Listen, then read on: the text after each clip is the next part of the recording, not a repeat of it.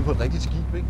Og vi er lige der, hvor, de, hvor piraterne er, og, og vi er nødt til at have bevæbnede vagter med, for eksempel at blive taget som gisler, og på den måde synes jeg, det er, at vi nærmer os den virkelighed, vi er fascineret af så meget som muligt.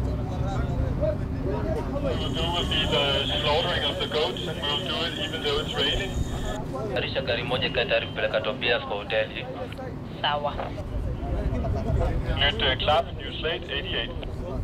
We don't need any weapons for the next uh, hour or so. Douglas, there's a break for you. Now we need uh, Hussein, Rashid, Abu, uh, Shukri, Shukri, and Mohammed. Tell them to bring the other camera body, please. Uh, two uh, short AKs and two uh, normal AKs, please. Quiet, please, all around. Cameras up. Roll sound, please.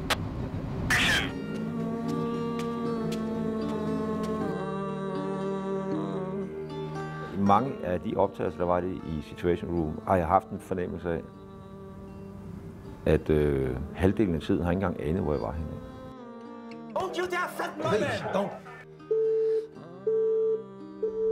Der sker altid noget magisk, når man er i situationen, og man har ligesom filmet et, et stykke tid, og man er inde i forløbet, og man har en masse tanker omkring det, og man har en masse følelser, og man har en masse ting, der skal bearbejdes, men som bliver skubbet videre, fordi vi skal videre med filmen.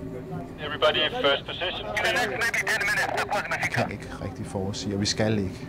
Øh, Vi skal forholde os til, til det, der er. Det er også derfor, at alle græder engang, ikke? fordi det, det forekommer meget vildt. Kasper want to remove the mic uh, from the president standing by. Ja, tak.